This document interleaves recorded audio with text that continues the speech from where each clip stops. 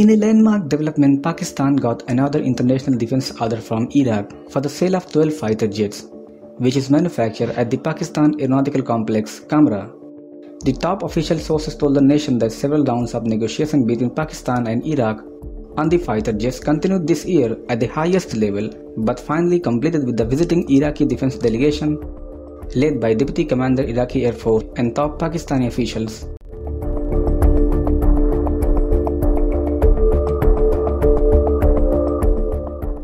According to sources, the defense deal was approved by both the Iraqi and the Pakistani government, and a formal agreement is expected to be signed in Islamabad next month. The Iraqi government has approved the amount of 664 million US dollars for the purchase of 12 fighter aircraft from Pakistan.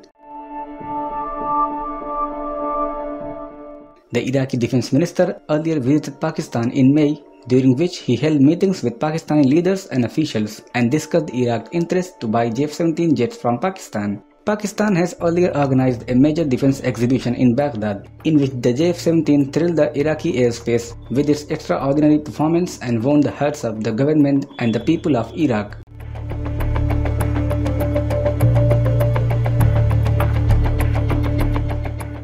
The chairman Nadeem Raza had also visited Iraq in March 2021 and held meetings with top Iraqi defense officials and discussed defense cooperation between the two nations.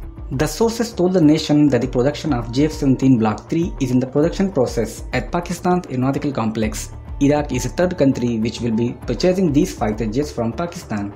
Nigeria had also purchased three fighter jets from Pakistan Air Force last year, and these fighter jets were handed over to Nigerian Air Force this year.